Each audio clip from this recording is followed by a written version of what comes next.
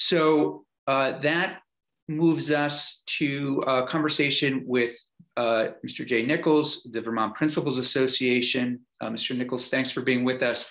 We really would like to talk to you about two things. Um, you know that we have a bill before us uh, that was introduced, I believe, by Senator McCormack last year, having to do with mascots uh, throughout the state.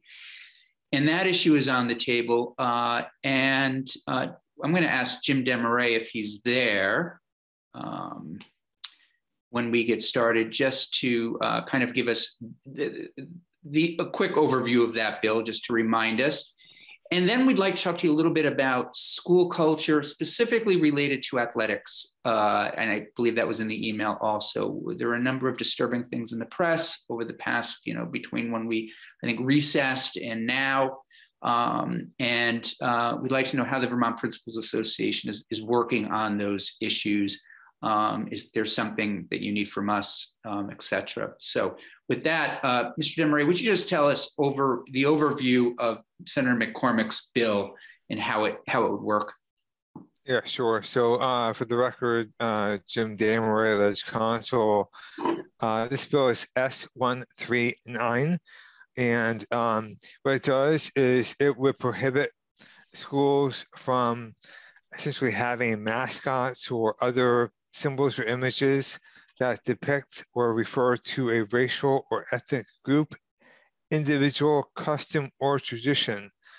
Um, so that's the prohibition. Uh, it would be three years uh, in terms of coming into compliance, and it only applies to public schools um, and failure to comply after three years would render the public school ineligible to compete in Vermont Principals Association's sanctions sanctioned events, so athletic events. Um, that's basically the bill. Yeah, that's helpful. Mr. Nichols, the floor is yours. Thank you, everybody. Good afternoon, and thanks, Jim, for giving the overview of the bill. For the record, uh, Jay Nichols, Executive Director of the Vermont Principals Association. I'll touch on the bill a little bit and then to the questions that Senator Campion outlined at the beginning of this of this session. So first of all, as a preface to my testimony today, I want to remind the committee that the VPA has leaned heavily into the issue around racist symbols and mascots in schools. We provided a press statement that has been utilized in a number of school board discussions across the state and has helped lead to the change in names of some mascots. Further, we have taken strong steps, excuse me. Further, we have taken strong steps to educate the public, student athletes, spectators, coaches, officials, and site administrators as to how best to address behavior at school events. I'll provide a little testimony on, on these two issues and then gladly answer any questions you might have. So first of all, S139. Um, we appreciate the sentiment of Senator McCormack's bill as well as the House bill with the same language. And we stand by our statement, which I'm going to quickly read to you.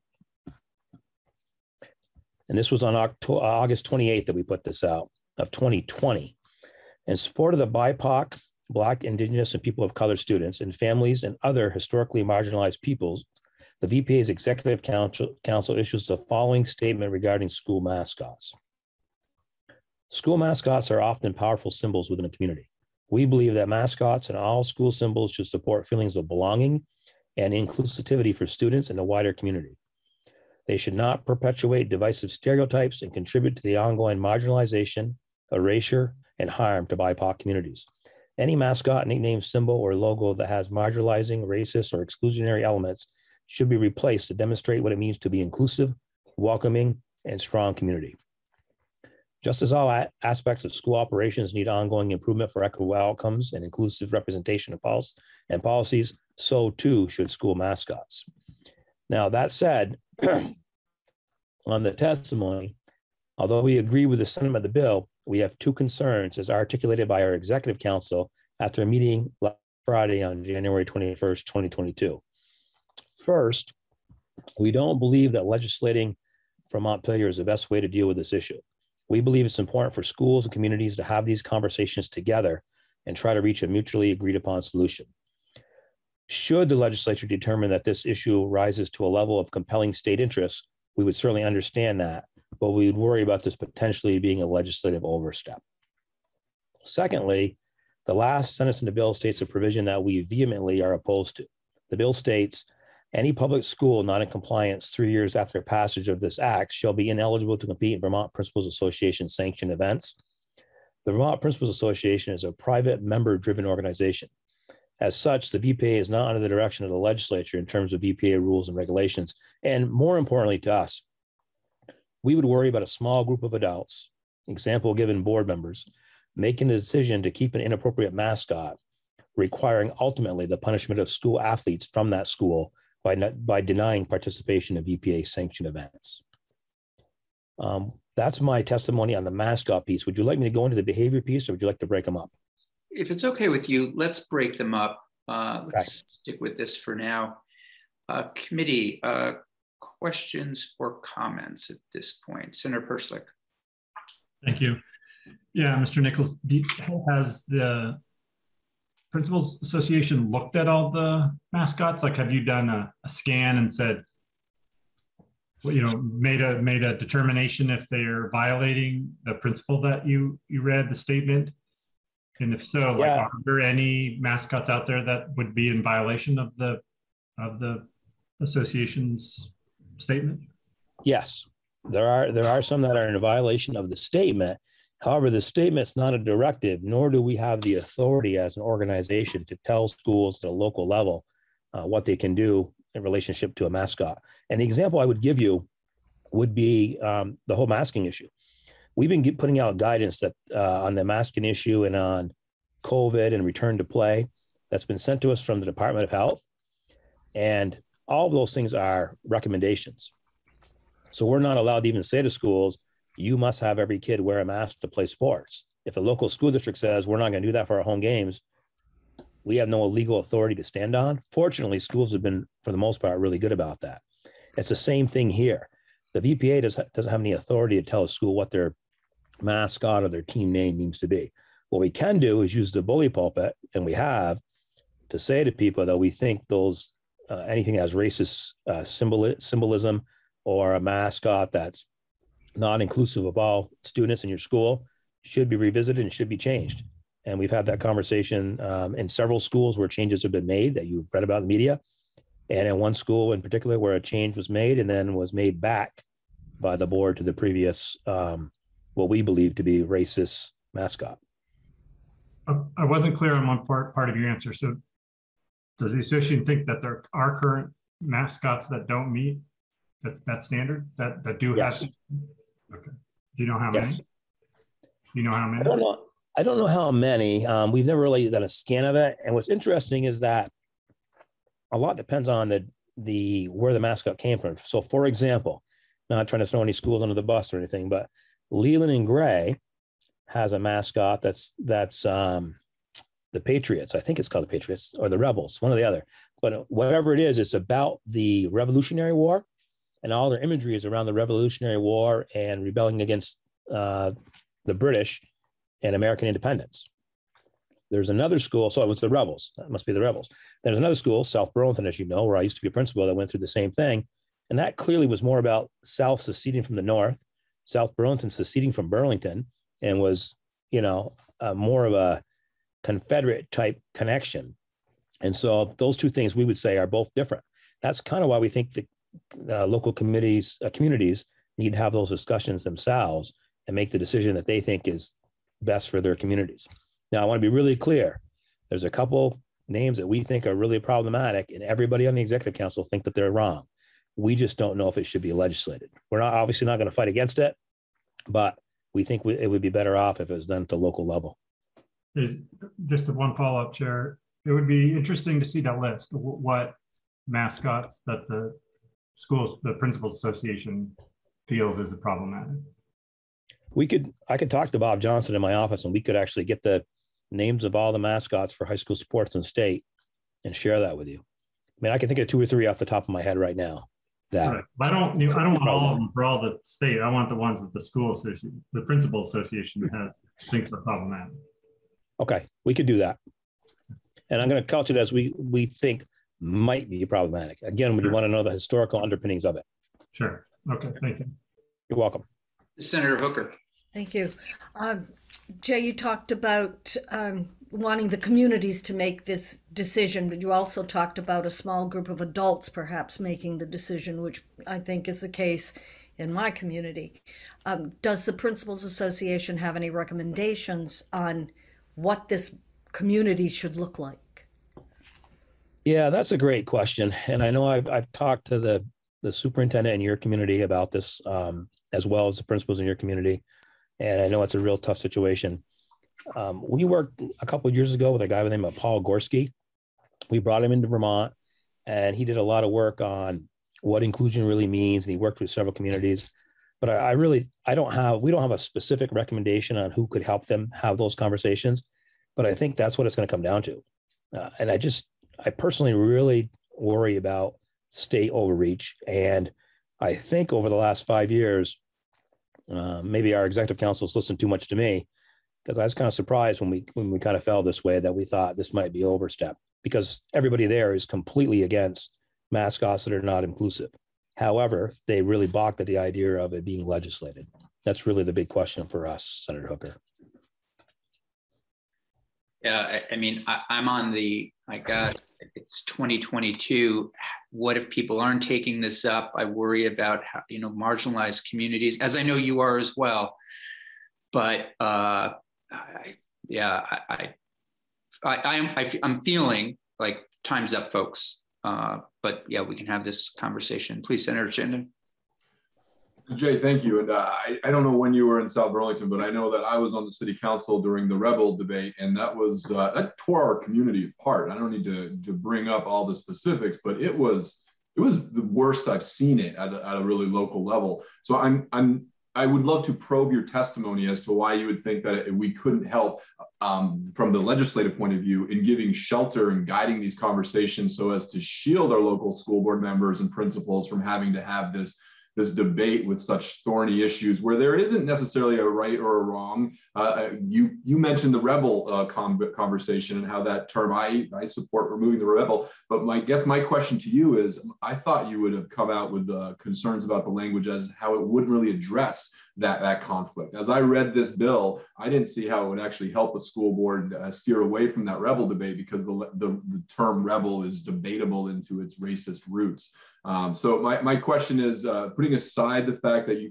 you're concerned that it might be a state overreach, do you have any thoughts on how this language could in fact help um, shelter our local school boards and our principals association so that they don't have to be the ones that are carrying the flag on addressing this issue and instead the legislature could step in like the chair was just speaking to?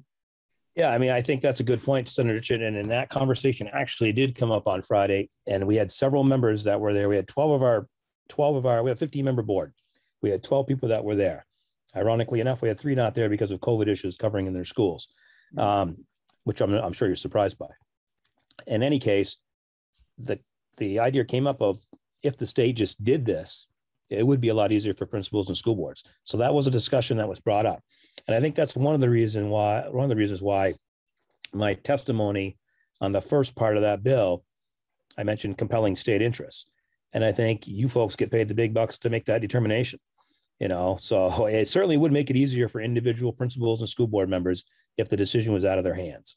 We just think from a from a more of a core value point that to the degree possible we'd like to see decisions made at the local level but again we're not going to stand and, and argue against that and, and we understand the rationale behind it fully our bigger issue would be yeah, now holding kids accountable we get paid big bucks. This is news to me. So, um,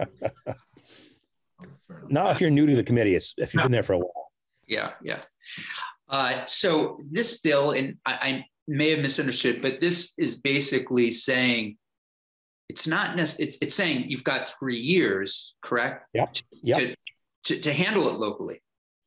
So it is. It's just for those communities that want to say, hey, maybe next year, maybe next year, maybe next year, it's saying this is the time. So, uh, so in a way, and correct me if I'm wrong, it's it's just putting some pressure on lo- on local school boards, saying, okay, time's up, but we're we're giving you still a little extra time. to your point, sometimes it's it can be very helpful to have these conversations locally. They can be learning experiences. People come in, young people who m- might be thinking, "Hey, this isn't a problem." Then hear directly from somebody who is of Native American ancestry or a member of the BIPOC community, and it's it's a it's a real again sort of John Dewey learning by doing and experiencing. So it, seems like it's it's balanced in that way. Yeah, I don't have a, uh, any argument with that at all. Okay. The only argument I would have is I would not want any school that didn't follow through on this to have their kids deprived of extracurricular activities that we sanction. That would be the biggest issue. So on So the first part of this, Sure. uh, we we'd be okay with that. Yeah. So you're okay with us saying, okay, folks, next two years, let's say, have the conversation. Uh, if you don't, then okay, maybe you, you know the state, the legislature says, you know, I, I, don't know what our thing is, you know, you don't have a mascot or, or whatever, uh, but really forcing that conversation. Um, or we could make up a mascot, you know, that they would have to, I, you know, I, I don't know, uh, but it, it would be something in some way that would get them to do it. Yes, I, I think our committee would be okay with that. Okay. Again, we'd rather see it done at the local level, and we just don't want them to be. We don't want the kids to get hurt out of this. Well, that's my point. I mean, if we were giving you two years for the local community to do it. Three, you said earlier. Yeah, I know. I'm playing with the numbers. I know. I, I, was hoping you were more forgetful because you're running a fever, but as usual, you're right on your game here. So, uh, yeah. So, yeah, let's just say two to three years. Um, three seems like a long time given everything, but yeah, yeah. and that's something that the committee, you know, uh, it just again says, and, and, I don't know what the, the correct repercussions are, you know, if people don't, but it does seem to me that some pressure on the local community to start to do this, to have the conversation locally sounds like a good balance. Senator Lyons. Whoops, whoops. Uh, you just um, made the suggestion I was going to make, and that is let's, you know, let's get the local conversation going. Let's not let it last any longer.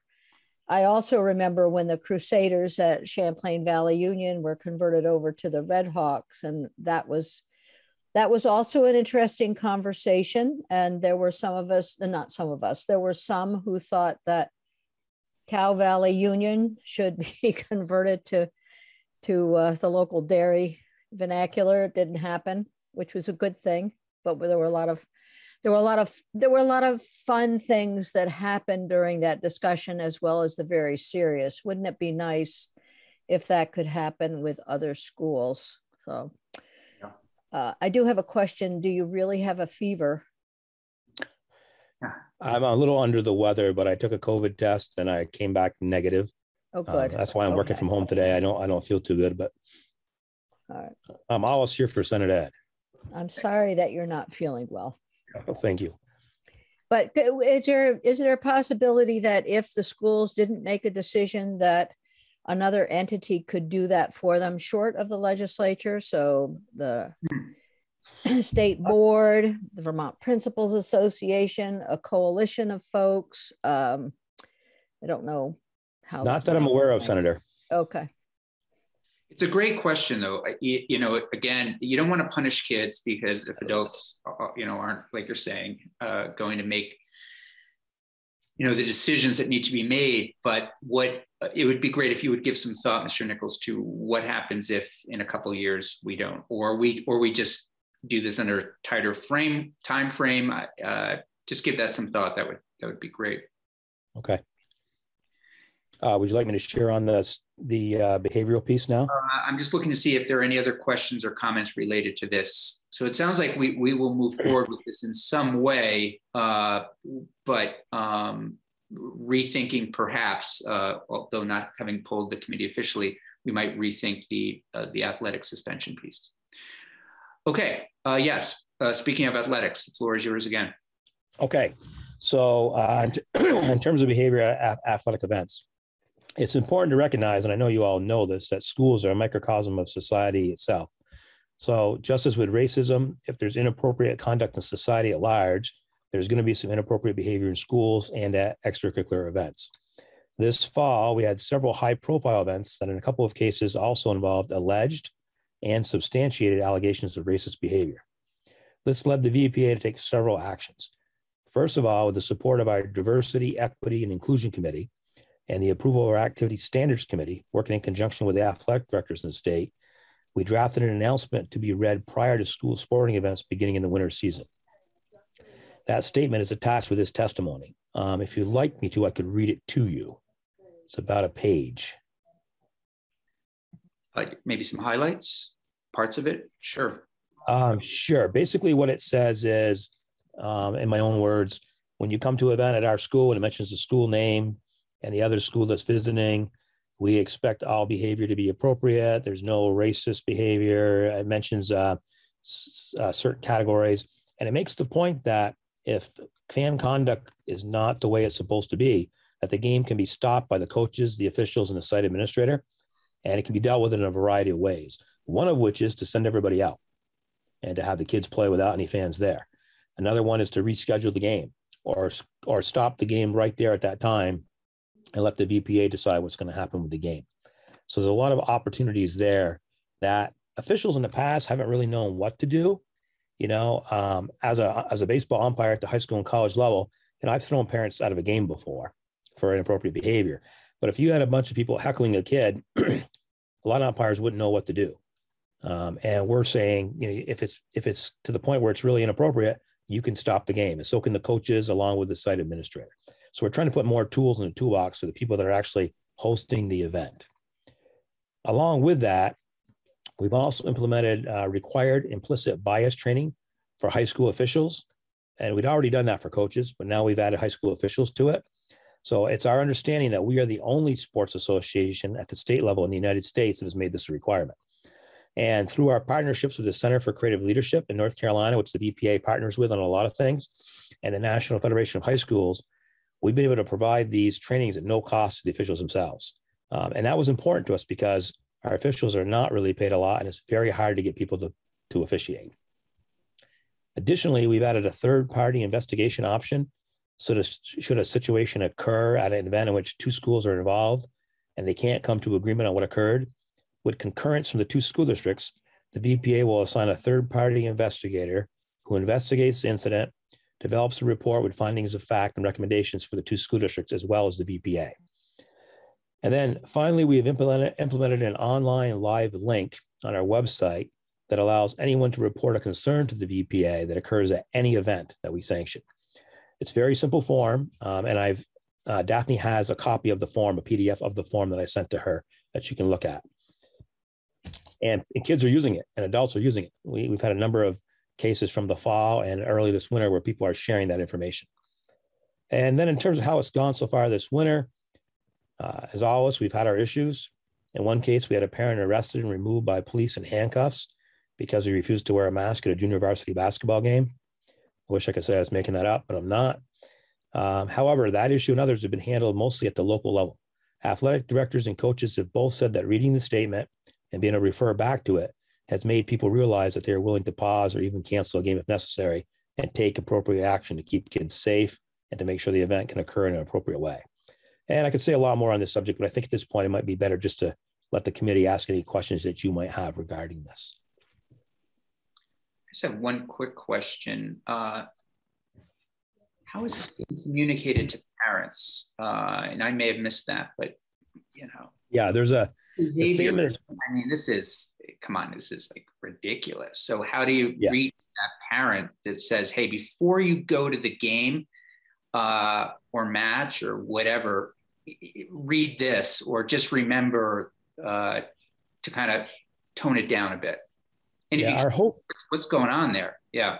Yeah, our hope is that by reading it at every event, having schools read it at every event, and you know, hopefully every school is doing this. I've been to several events this, this uh, late fall when we put this in place and this winter, and I've heard it read every place I've been to. Now, maybe people are seeing me walk in the room and so they're in the gym, so they're reading it, but I've heard other people say that it's, that it's being read as well. And I sent along with the testimony the copy of what's supposed to be read. Schools are allowed to adjust it a little bit to make it a little bit shorter. And schools have come up with some creative ideas of doing it. For example, I was at a basketball game last night where the captains of the home team, boys and girls, actually had a, a recording of them reading the statement. Powerful, when it's Yeah. kids Yeah. saying it, you Yeah. know. And Yeah. this school did it that way because they didn't want to, not the kids to have to do it live every time. But we've seen other schools. I know at Burr and Burton, they've had captains of their of their teams actually read the statement because Dave Maselli's, you know, worked a lot with us on this, and he's the AD there. And up north here where I live, different ADs have done it in different ways. Sometimes it's a kid reading it, sometimes it's an announcer, sometimes it's a captain of a team. Usually they'll do it uh, right before the national anthem. So I, I think it's had impact. Uh, we certainly have seen coaches have said that they think it has impact. Is it is it going to solve all problems? No, but at least it gives people the the fair warning that this is a high school event. Act appropriately, and if you don't, you're not going to be able to stay here. Yeah. Yeah. Interpersonally. Yeah, thanks. And thanks, Jay, because I, was um, concerned when the media, and I know, I don't know if you felt VPA was treated fairly, but I, I don't think it came off well in the media stories on, on how things were handled. In my experience, uh, middle school basketball games is that the fans and parents are pretty horrible. And I, one thing that you said stuck out to me. You said like if there's heckling of a of a player, to the point that it's inappropriate, something can be done. But I'd say any heckling of a player from a fan should be inappropriate, and the game should be stopped. And I, I don't, I will look at the statement uh, that you in your that you gave us with your testimony, but I think one of the concerns that are the stopping the game doesn't really stop the bad behavior. Like I think and then maybe, maybe you can clarify this that not only should they be able to stop at the game, but they should be able to declare a winner. If, if one side is heckling the players, uh, then the ref or others should be able to say, okay, that side forfeits and you lost the game because that's what they care about. Uh, you know, ending Right. the game and rescheduling it, you know, they might think that's a win. And so I think it needs to be, Good point. and that's, that's the kind of with a mascot, there has to be some kind of consequences. Yeah, I've seen refs try to stop, you know, and I've seen parents get thrown out. I've seen this the the bus driver of the of the team get thrown out of the game, and but it doesn't seem to make that much of a difference because I think there's a general culture that it's acceptable to heckle players and heckle the refs, and I wouldn't be a ref in any any of those games precisely because I don't think they're protected. Yeah. So um, just to respond to that quickly, if when you read that, you'll see that there is a part in there that the game could be forfeited. And what we do is we have the coaches and the site administrators get together and make a decision on how they want to proceed. And it could be announcement. And part of this is the culture that we live in, right? So it's not uncommon when I'll give you an example. The game I went to last night, when a kid on one of the teams traveled, a bunch of fans on the other team, kids, kids on the other team, uh, started singing, You Can't Do That. And I don't know if we should be in the position of trying to police that stuff. Um, I, I'm really trying to draw the line at the stuff that's really inappropriate because You part of it's just kids being They're playing basketball and they travel. Yeah. So that, you know, so the kid traveled on the other team, you can't do that. Show and up. when a kid, a coach calls a timeout, a lot of times the other team will yell back, um, talk it over. And they'll sing, you know, to me, that stuff is just part of the game. And I don't, I don't think we're ever going to get, get rid of that. What I have a problem with is when somebody's using racist language or swearing at a kid or at an official. And in those situations, people need to be um, removed. The other thing is you mentioned about the VPA not uh, coming off too well. The, the reality of the situation, the big situation that took place is that the VPA found out it was an issue well after it occurred and it wasn't reported to us. And so we were playing catch up on, on, on the whole situation. If you're referring to the soccer game that, that brought a lot of this into the, into the light. And so we've tried to respond to that by working with superintendents, athletic directors, principals, and a little bit with the school boards association, but not a lot to try to make sure that everybody had input on the direction that we we're going to take. And so what the testimony today is about is a response to that. And that doesn't mean it can't be strengthened or tightened up depending on how things go. I was talking to um, the New York executive director a few days ago and telling him about some of the things that we dealt with. And he said, You guys have no clue. he says, uh, You know, Vermont, you have no clue. We deal with this, we deal with racial stuff every single day, repeatedly. Uh, and, you know, it's very, very tough to police. So we are fortunate where we are, but we do take it seriously and we're willing to take any action we need to to make sure that, a, that the playing environment for kids is fun, um, but also safe. Yeah, Senator Perchlik. Yeah, I, I wondered if you had ever been to an ultimate competitive ultimate frisbee game. I've only been to one. It wasn't a playoff game, and I went because once we sanctioned it, um, the year that it became a varsity sport was my first year as executive director, and I was in the office, old baseball coach, old basketball coach, and I made a comment to um, Bob Johnson about it, saying, "Wow," because I don't know if you saw this, but Saturday Night Live took a shot at us for having ultimate frisbee. I don't know if you guys saw that skit or not, but they no. they picked on the VPA, picked on Vermont for having ultimate frisbee for sport. Huh. So I said something to Bob about, well, now we have frisbee for sport. And Bob said, you cannot call it frisbee. You have to call it ultimate, and you need to go to a game. So I did go to a game, and it's pretty amazing. The kids call the they call the fouls themselves and all that stuff. So yeah, it's interesting.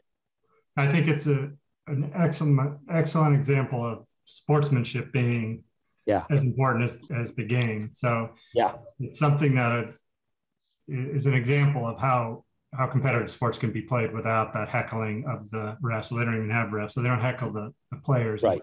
Not only right. it was, I just also want to say it wasn't just the soccer game. It was a there was a a woman's maybe it was soccer too, but maybe it was lacrosse or something where there was also just sexist comments or comments directed at specific players. Yeah. That that was an issue too. And that's the kind of stuff that I saw at the at the women's basketball games that I was going to where you know, I agree with you. Just you know, chanting for the team and, and that kind of thing is is okay, even if it's about something that a specific person did. But that it's any kind of heckling to a specific person or really berating the the refs yeah. is. I don't think that. I think there should be a zero tolerance for it. Yeah, and there's supposed to be. One of the hard parts is you usually have one side administrator there. Uh, for, for example, last night at the basketball game that I went to, and I won't mention the school, the AD, who's a pretty new AD, I think he's in his third year. He's really, I think he's really good. He um, thought that the kids were getting a little bit too rambunctious. It was a really close game. And he went up and he sat in the stands with the kids. But there was this one guy sitting not too far from me that several times made inappropriate comments about the refs, but he also didn't yell them out. It's like he was sitting with his, his group of people and was like, oh, this refs, every freaking calls against us, rah, rah, rah. But he, but he wasn't screaming at the referees and the, and the referees, I don't think he even heard a single thing he said. So it's it's tough. I mean, we are a very big sports culture. I used to say as a superintendent that if I said we're going to cancel varsity basketball this year, I'd have hundreds of parents there ready to lynch me. But if I said we're going to cancel algebra, people would be like, "Well, yeah, I guess that's okay." you know, it's uh, that's part of the society that we live in. Yeah. Unfortunately. Mr. Nichols, help us understand where does the buck stop during a basketball game? You know, where just so I know. So you know, you've got the AD, you've got the ref. Who's gonna who's gonna be the one that would ultimately say, okay, enough's enough. This game is over, and uh, this this group won. This team won. Well, ultimately, what would happen in that situation would, would be that the site administrator would stop the game, and then he would meet. He administrator for me. Oh, usually it's the athletic director, but sometimes it's the principal or the assistant principal. So whoever, so whoever in the hierarchy is is there at the highest. Okay.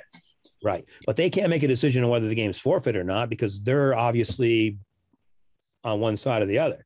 Right. So what they would do is they would meet with the coaches mm-hmm. and meet with the um, referees, and together they'd make a decision on how they wanted to handle it. And if the decision was to stop the game right there, not complete the game, then it would come to us and they would share the information with us and we would decide is it a forfeit? Was there culpability on both sides? So we're just going to play the game again or play it from that point without fans? Or something along those lines. So we wouldn't put a site administrator in a position where they could say, okay, we now the game's a forfeit. Your team loses, our team wins, because that would be that would be asking for a really tough situation. We would say site administrator with the coaches and the um, ADs, similar to what Burlington and South Burlington did. They stopped the game, sent everybody home. It was a volleyball game, and okay. that was in a direct response to information that we gave them on how they should handle that. And one of the teams did end up forfeiting that game because they said we were largely responsible. So we're, we'll take the forfeit. We didn't have to intervene. They said we'll take the forfeit. So before I uh, move to Senator Lyons, who who made the decision for the game to be over and send everybody home? Again, highest site administrator there. Okay. Yeah, the difference in that one though was that they both were there. Okay. Because it was two schools in Chittenden County, both ADs happened to be at the event. But yeah, it would be the site administrator would make the decision to say that's it, everybody's going home. Okay, Senator Lyons.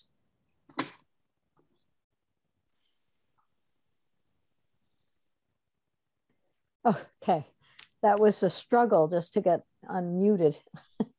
uh, I, you know, this has been this is a great conversation, and obviously there are some sports where we see more of the harassment going on than others. And I don't know how to learn from those sports where it doesn't happen as much. Um, I think of tennis that is grew up in a tennis grew up in a, such a polite society, but you know, do we still see that uh, on the side? Do we still see discriminatory comments on the on the sidelines? I, I don't know. And what at what? How many kids are involved in working with you? Do you have sort of a cohort of uh, students learning about these issues and trying to help out within their own local Great institutions. Uh, you know, it just seems to me that kids can corral kids so much better than we adults.